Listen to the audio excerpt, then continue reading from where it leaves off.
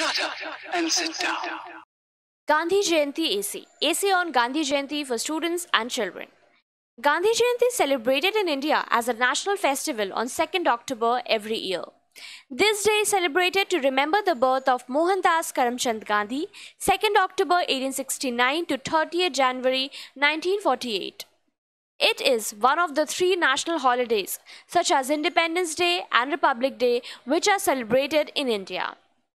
Mahatma Gandhi, who has given the title of Father of the Nation or Rashtrapita, is also called by the name Bapu.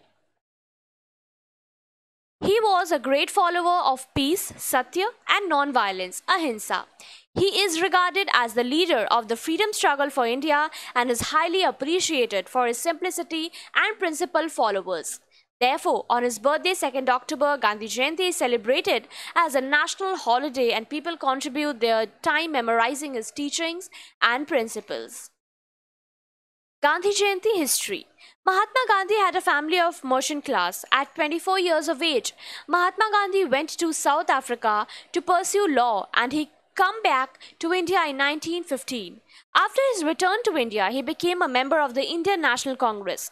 At this point, for his hard work, he became the president of the Congress. He has not only worked for India's independence, he also fought for various kinds of social evils like untouchability, casteism, female subjugation, etc. He also helped so many poor and needy. Let's follow the path of truth and spread the message of the father of the nation. Importance of Mahatma Gandhi Jayanti AC. Babu was born at the time when Britishers were ruling India. He has played the most significant role in the struggle for Indian independence. His love for the nation, supreme dedication to our country's independence, and kindness to poor people have given him the honor to be called Father of the Nation or Bapu. Gandhi Jayanti is also celebrated as the International Day of Non-Violence all over the world, declared by the United Nations General Assembly on the 15th of June 2007. The purpose is to spread Mahatma Gandhi's philosophy, his teachings of non-violence and peace all over the world. In some of the places, Gandhi's birthday is celebrated with physical activities based on some theme to grow public awareness worldwide. How Gandhi Jayanti is celebrated. Gandhi Jayanti is celebrated in numerous innovative ways by the students and teachers of schools and colleges, government officials, etc., all over in India. It is feasted at Rajghat, New Delhi by offering flowers to Mahatma Gandhi's statues. While offering the honor, people sing their favorite devotional song, Raghupati Raghav Rajaram and other conventional activities are performed by the government officials.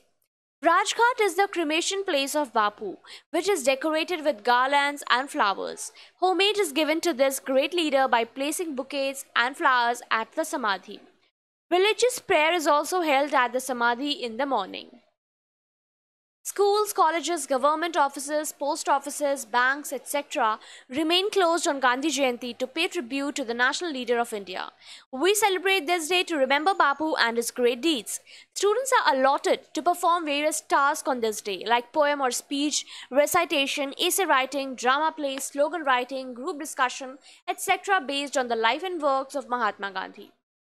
About Mahatma Gandhi. Mahatma Gandhi was born in a small coastal town, Porbandar, Gujarat. He did great works all through his life, which still has an impact on the people in this modern era.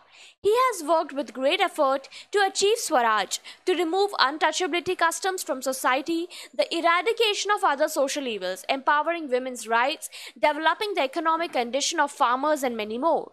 He ran three movements as the non cooperation movement in 1920. Dandi March or Salt Satyagraha in 1930 and the Quit India movement in 1942 to help people of India get freedom from British rule. His Quit India movement was a call to the British to leave India. The true meaning of civil disobe- disobedience is declining civil law, especially as a way to disagree with certain demands. Mahatma Gandhi used civil disobedience as a non violent way to oppose British rule. He started many civil disobedience movements during the British rule, protesting against many harsh acts and policies of the British government. Civil disobedience was one of the reasons which led to the independence of India. In 1916, Mahatma Gandhi was imprisoned for organizing the civil defense of tens of thousands of landless farmers and servants in the Champaran district of Bihar, India. Through the Champaran Satyagraha of 1916, Mahatma Gandhi along with the farmers and servants, protested the increasing tax, lagan, laid on farmers by the Britishers during the destructive scarcity. With this hard determination, Gandhi shocked Britishers in 1930 with his 440 kilometer long walk on foot to the ocean. It was originally to fight the British salt monopoly and led Indians to defy the British forced salt tax. Dandi Salt March is let down in history, where around 60,000 people have been imprisoned as an outcome of the protest march. Though the story and the extent of India's struggle for independence were very long and many people sacrificed their lives during the process, eventually India achieved freedom in August 1947. But independence was accompanied by the horrific partition Following the partition and witnessing religious violence on the liberation of India and Pakistan after India's independence in 1947, Gandhi began innumerable fasts unto death to eliminate religious violence. Bapu was assassinated on January 30, 1948, Mahatma Gandhi death date, after Nathuram Godse fired at him at the Birla House, New Delhi.